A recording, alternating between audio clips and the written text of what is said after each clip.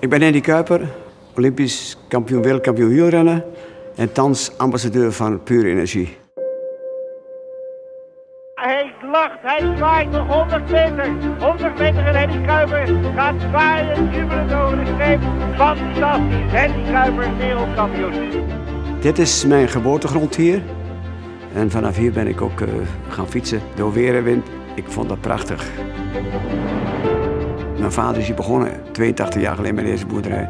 Maar die zijn nu ook aan het vergisten en hebben zonnepanelen op dak. Gaan stroom leveren met 12 boeren samen.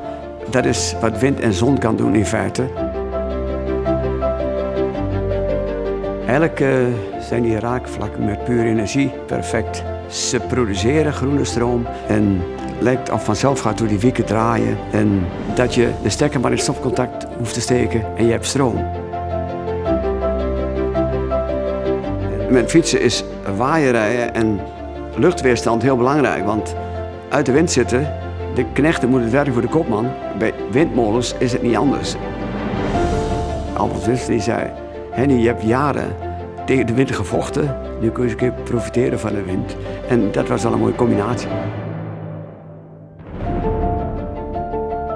Als ik daar hier op die fiets zit en ik rij wind in de rug, eindelijk het genot van de wind, ja, dat kan me niemand afpakken.